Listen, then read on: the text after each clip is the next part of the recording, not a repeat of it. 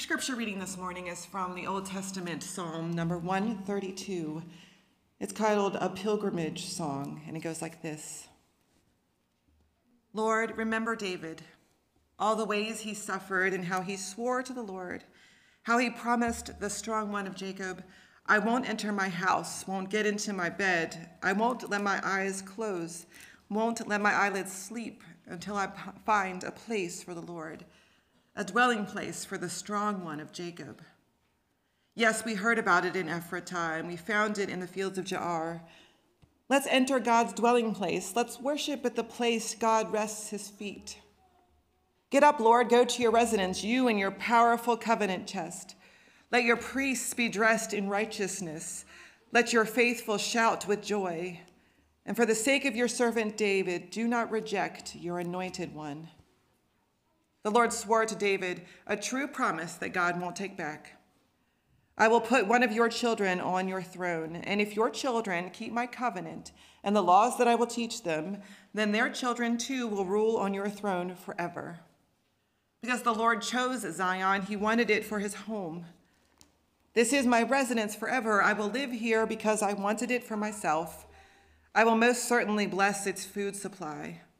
I will fill its needy full of food. I will dress its priests in salvation, and its faithful will shout out loud with joy. It is there that I will make David's strength thrive.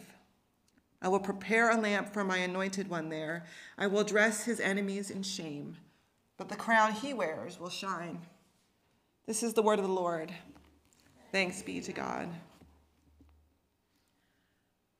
So today is Christ the King Sunday. It's the end of the year. Woohoo!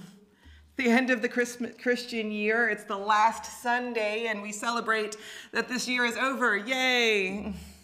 So, yet another year where we want to celebrate the year being over, right? Maybe Advent will bring a new kind of year. How about? And I read a lot of commentaries on the scriptures this morning.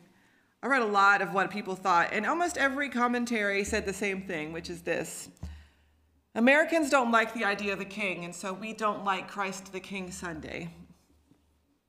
And the idea being that because we rejected a king in the revolution all those many years ago, that we don't understand what it means to have a good king. And we don't like to think about Christ being king. We much prefer Christ the shepherd, or Christ the little baby in the manger, or Christ in all the other forms that we have a really hard time with the idea of Christ the King. And I don't know that that's necessarily true. See, the idea is that we don't like this idea of the strong man, like the one person who's in charge, who just takes charge of things. The one person who can tell us what to do, who can be righteous in any given situation. I don't know that that's true, that we don't like that. I mean, if anything else, you can look at the movies, right? Look at the box office last weekend and tell me what movies were on the top of the box office. They were superheroes and James Bond. Now tell me that those two aren't examples of righteous people, well, but at least strong people, strong men who can take over and tell us what to do and make the evil guys go away, right? Now, James Bond may be a little morally questionable in his tactics, but at the very least, he makes the bad people go away and wins the day for good and righteousness, right? We love the idea of one person who can take over the world and tell us what to do and make everything right again. Because it makes us feel good. Makes us feel like somebody's in charge. Somebody, somebody's in charge at last. And we want to believe that there are good people that there are good people who can handle unlimited power, can make the world right again. This isn't a new phenomenon. Some of you have heard about my obsession with history podcasts lately, but there's a really good one called The History of Rome, and it's like 10 years of going through the history of Rome piece by piece. And last week's episode was about the dictator, the invention of the dictator. This is fascinating to me, so hold on. the dictator was a guy who was invented, who was created by Rome to have absolute power, and he could do whatever he wanted, whatever he wanted, anything at all. And originally, these dictators were only called up in times of chaos. The idea being that people couldn't be trusted to make decisions as a group when there were bad things happening. And so they ditched this idea of Roman democracy every once in a while when there was a war going on or whatever. And they would elect this one guy, the dictator, who had unlimited power. What's really cool is that this one guy with the unlimited power, the, one of the first ones, his name was Cincinnatus, the name of Cincinnati, right? And he's famous because you know what he did? He gave up power. He had unlimited authority, unlimited authority to do whatever he wanted. And eventually he said, You know what? I think I want to be a farmer. And they went back to democracy again. So it's not a new phenomenon. We love the idea of this person who can come in and save us from whatever chaos is going on in the world. And maybe it's not, you know, like a strong man in that way, but we, we worship celebrities in the same way. Or an influencer who can tell us, you know, if we just put the right highlighter on, we could just make our cheekbones stand out a little bit more, then the chaos in your life will go away. Or if you're me and you follow organizational influencers, because if I just buy the right binder, right? Or I figure out the right way to um, organize my notebook, you know, write things down in the right way, or if I just figure it out, then all the things are going to be fine. We love this idea that there's something strong out there that can do it. Now, Psalm 132 is this story of David. It's the end of David's life. And David um, was the James Bond of kings. You know, not a good guy, not somebody we want to be friends with. He made some bad choices, as my kids would say. If my kids read David's life, they would run up to me and say, Mommy, Mommy, he's making bad choices, right? And this is an attempt in Psalm 132 to sort of remake David's image. To sort of say, well, David, we know you're about to die, so why don't we say some nice things about you? He was kind of weak personally. He was morally questionable, and he somewhat believed his own hype. And so in this psalm, they try to lift him up and re- remake his personality a little bit.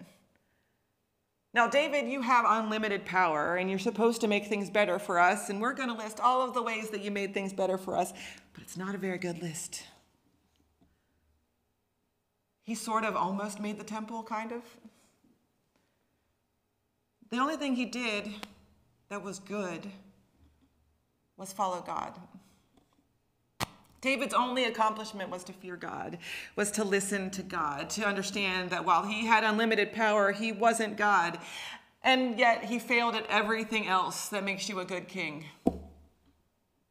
I mean, at the very least, a good king should set up their kingdom to continue being a kingdom after a while, right?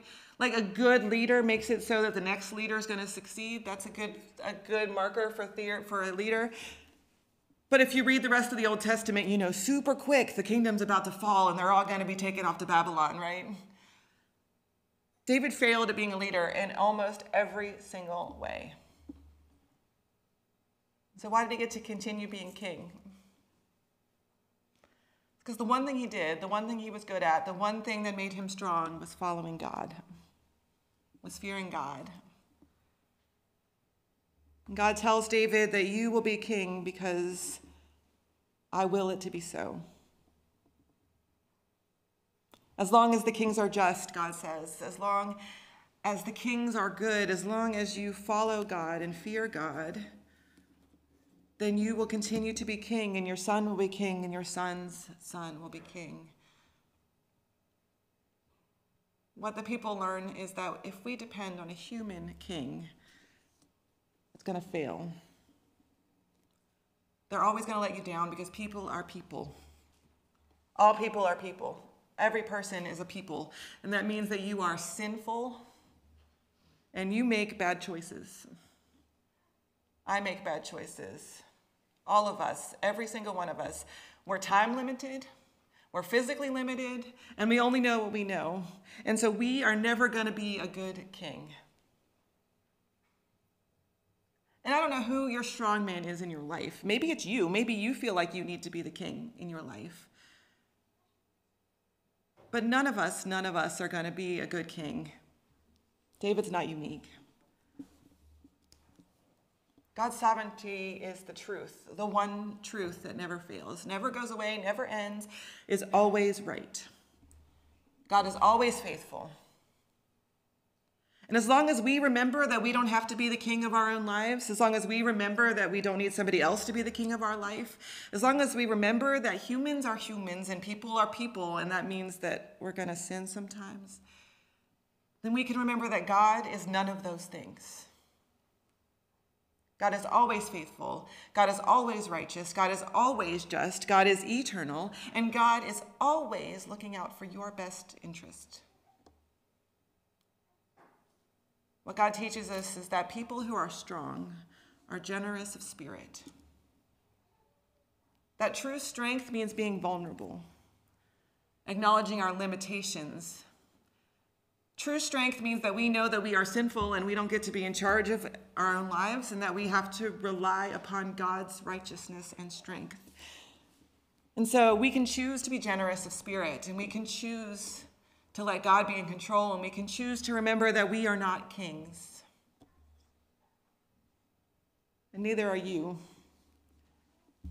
And we can rely on God, who is always, always, always faithful.